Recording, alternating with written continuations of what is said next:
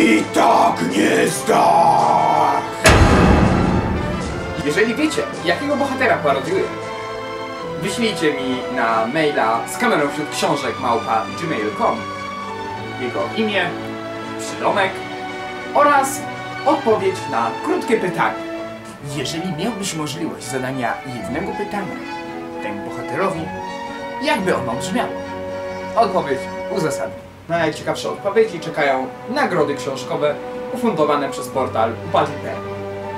A tym razem nagrodami są...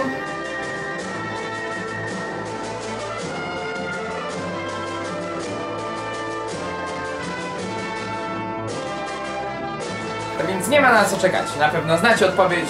Piszcie maila. Czekam na poprawną odpowiedź.